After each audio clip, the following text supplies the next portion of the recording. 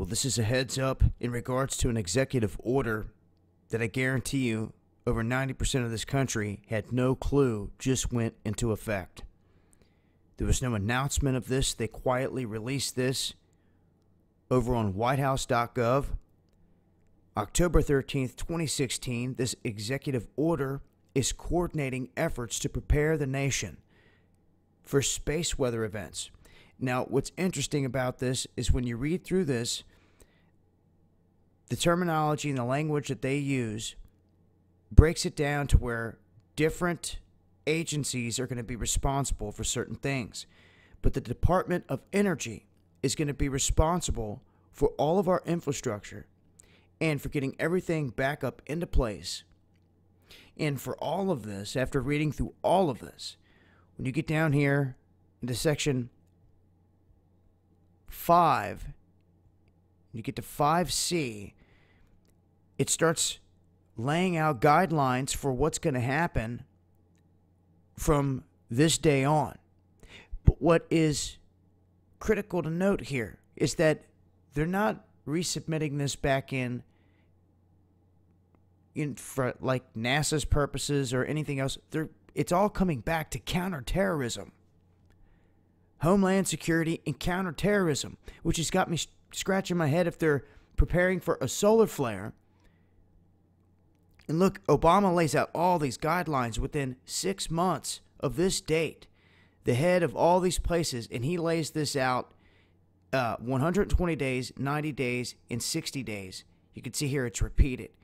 What every single one of these divisions are going to do, what their responsibilities are, whether it's infrastructure um, or get re- relaying information, the breakdown that prepare and preparedness are the same thing and they go into the terms of solar flare and geomagnetic disturbances, along with the critical infrastructure.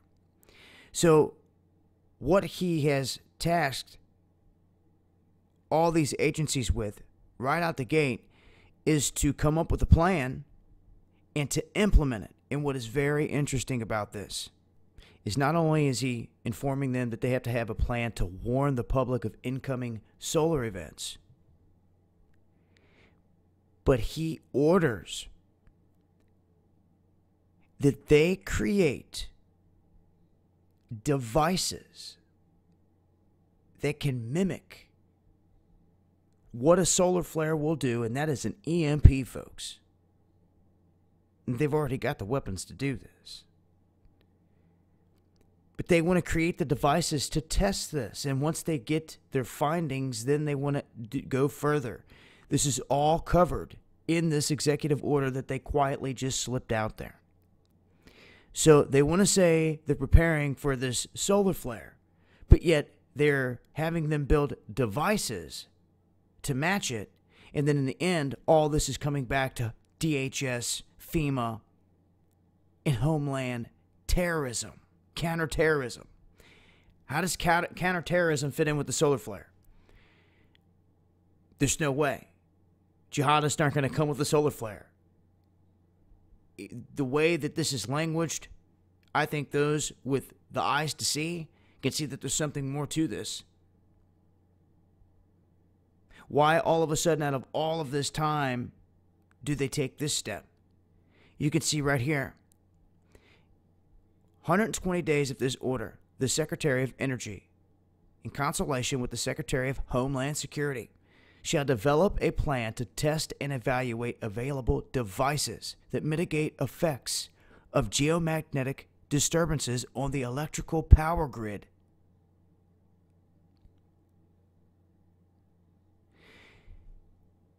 So this is what's going down from this day forward, October 13th forward. They have a plan in motion to even use these devices, test these devices, and how are they're going to do that.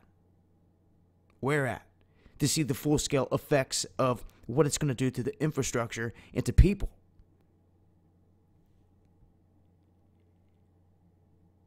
It's a very interesting executive order that was just slid out there. This is one to pay attention to, guys. With everything going on, aligning with uh, what they would want here in this country catastrophe, chaos. if there's ever going to be a lights out situation, it's because someone let it happen. And it looks to me right here, these may be the hints in plain sight that something like this is down the pike.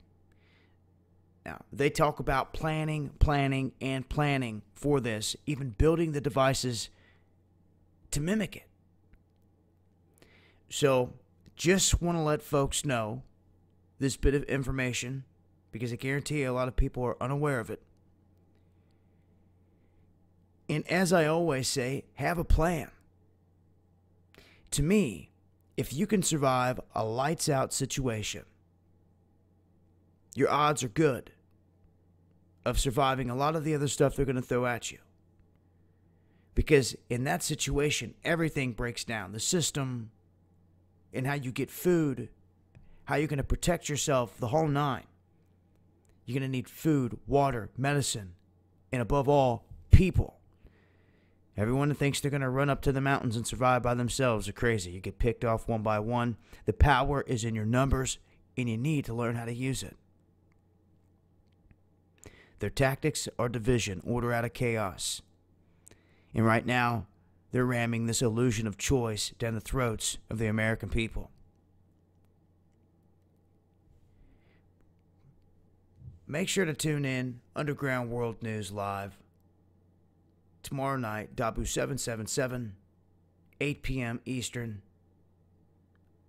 I'll be discussing this in updates to many of these stories, the saber rattling going on right now, uh, other things that are in motion, and any other breaking stories that go down as well. And also make sure to check out our recent sponsor here at the Essential Drug Store. You guys can get anything you need medically without a prescription, your antibiotics, heart medicine, all that stuff. It's there if you guys need it. I will leave links in the description box. And until next time, it's been Dahboo7. Much love.